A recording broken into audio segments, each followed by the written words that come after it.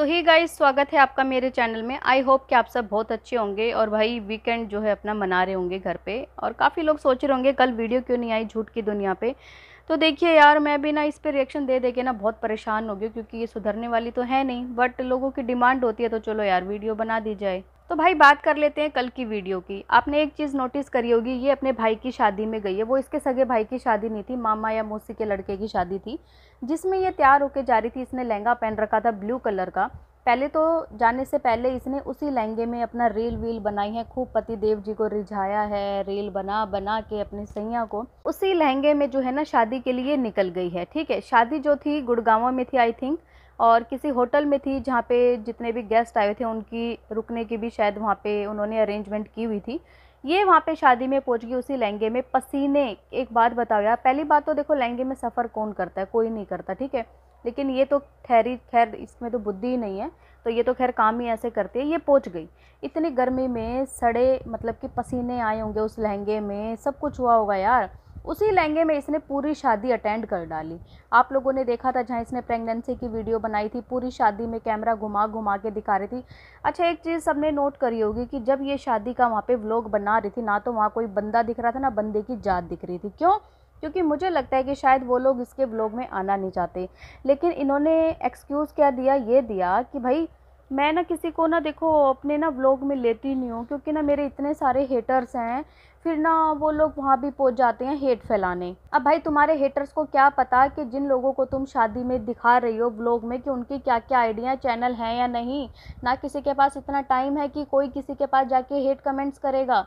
ये सिर्फ़ और सिर्फ़ झूठ बोलती है। मुझे लगता है इसके जो ये आए दिन के नाटक नोटंकियाँ रहती है ना, ये बेफालतू की मतलब वीडियोज़ को एक तरीके से गंद मतलब गंदगी दिखाना अपने चैनल में कीड़े वीड़े परोसना तो वो लोग भी देखो, इसकी वीडियो तो देखते होंगे, इसकी मौसी है, चाहे मामा है, घर के जो भी लोग हैं तो वो लोग इसकी वीडियोस देखते होंगे, उनको नहीं अच्छा लगता और शायद इसीलिए वो इसी वजह से इसकी वीडियो में आना पसंद नहीं करते, तभी इसने जो है किसी को ब्लॉग में नहीं लिया।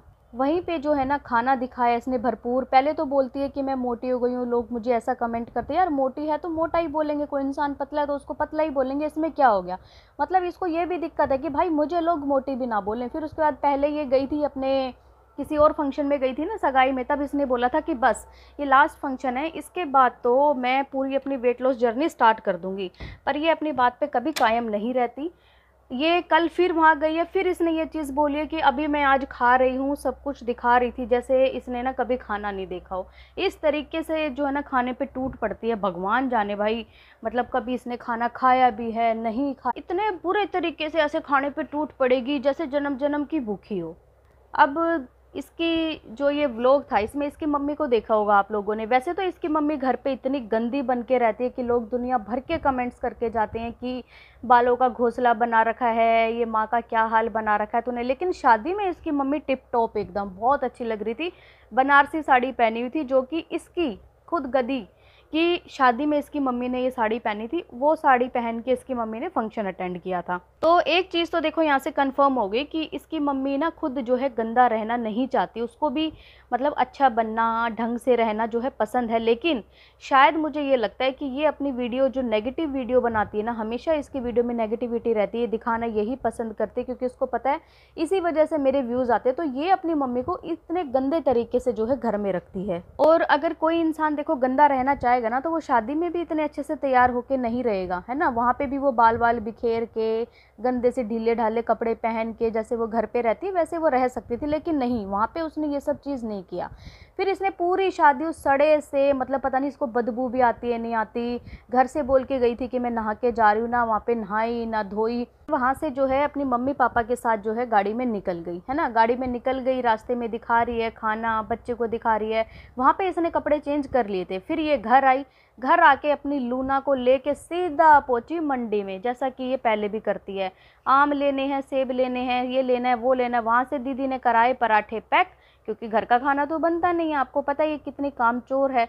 और दूसरी बात, ये कामचोर तो छोड़ो मतलब बनाना भी नहीं आता कि भाई भूख कितनी लगी है, अब बच्चे को माँ बाप को मैं क्या खिलाऊँ? तो इससे अच्छा ना कि यार बाहर से पैक करा के ले आती हूँ, ये खिला दूँगी। लेकिन उसी वीडियो में एक चीज़ बड़ी अच्छी भी लगी मुझे और बहुत बुरी भी लगी, वो थी आइसक्रीम वाला सीन।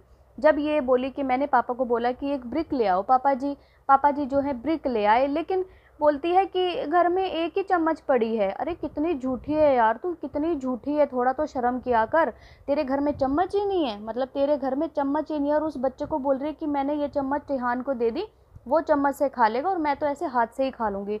और इतने बेहुदा तरीके से ऐसे मतलब कि जैसे आइसक्रीम को नोच नोच के ऐसे खा रही है।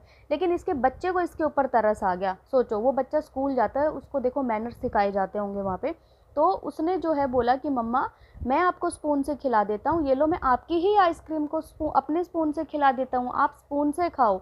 मतलब कि यार इसको इतनी भी शर्म नहीं आती, जो ये गंदी हरकतें करती है ब्लॉग में। इसके बच्चे के ऊपर क्या असर पड़ता होगा? आज तो बच्चा चलो स्पून से खा रहा है, उसके अंदर एक गुड हैबिट ये है। लेकिन कल को वो क्या देखेगा कि यार मेरी माँ तो खाती नहीं, मेरी माँ तो ऐसे बेहुदा तरीके से गंदे, अपने गंदे सड़े गले हाथों से ऐसे ऐसे मतलब कि नोच नोच के जैसे आइसक्रीम खाई जाती है, वैसे आइसक्रीम खा रही है। तो भाई मैं भी वैसे खाऊँगा क्योंकि मेरी माँ ने की है है ना? सबसे पहले एक, जो टीचर होता है ना बच्चे के लिए, वो उसकी माँ होती है। तो वो भी सेम वैसा ही करेगा आने वाले टाइम में, जिस तरीके की हरकतें ये करती है, प्यार, व्यार, ये डांस करना, घर में जो है मतलब बेफालतू की अपना कैमरा लगा के कोई हस्बैंड के नाम पे कोई चीटी भी नहीं है, कोई चीटा भी नहीं है है ना? बेफालतू की एक्टिंग करना निकल जा मेरे घर से। और कल फिर इसने जो है, आज की वीडियो में यही सब काम करा। बाहर अपना ट्राईपोर्ड लगा दिया, वहाँ पे अपना फिर एक्टिंग करनी शुरू हो गई। हाँ आमद जाना यहाँ पे, आमद जाना पड़ोसी देख रहे हैं।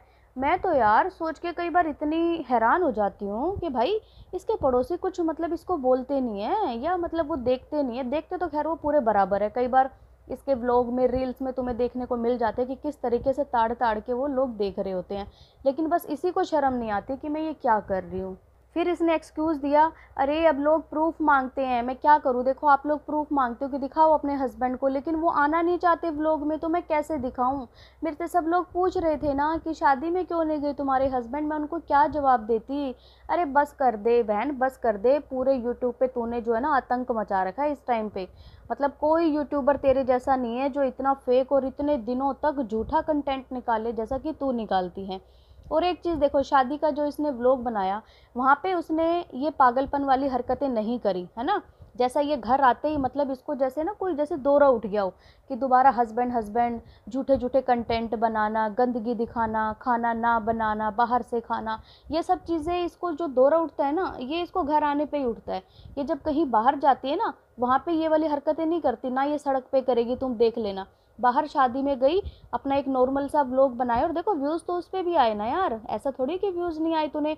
अगर ढंग का एक नॉर्मल कंटेंट दिखा दिया, उसमें हस्बैंड फसबैंड या फालतू की बकवास नहीं करी चोचलेबाजी तो उस पर तेरे व्यूज़ नहीं आए व्यूज़ आए तो तू उसी चीज़ को देख के ऐसे ही कंटेंट क्यों नहीं बनाती है? क्यों नहीं बनाती? मेरा तो सबसे बड़ा क्वेश्चन यही है इस औरत से। नहीं इसके मतलब दिमाग में क्या हस्बैंड नाम का इस ऐसा फितूर भर गया है कि भाई वो निकलने का नाम नहीं ले रहा। दो महीने हो गए पूरे, दो महीने से हस्बैंड पिया, मेरे बॉयफ्रेंड मेरे लवर इसने कोई कोई वर्ड तो नहीं छोड़ा इसने यहाँ वाई पे कोई वर्ड नहीं छोड़ा जो इसने बदनाम ना कराओ तो गाइज़ आप लोगों का क्या कहना है इस देवी के बारे में? ज़रा कमेंट करके बताना। आपको ये पॉडकास्ट पसंद आए तो प्लीज़ चैनल को लाइक करें सब्सक्राइब करें शेयर करें और बेल आइकन को प्रेस करना बिल्कुल ना भूलें। सो बाय मैं मिलती हूँ आपसे एक न्यू पॉडकास्ट में। तब तक के लिए बाय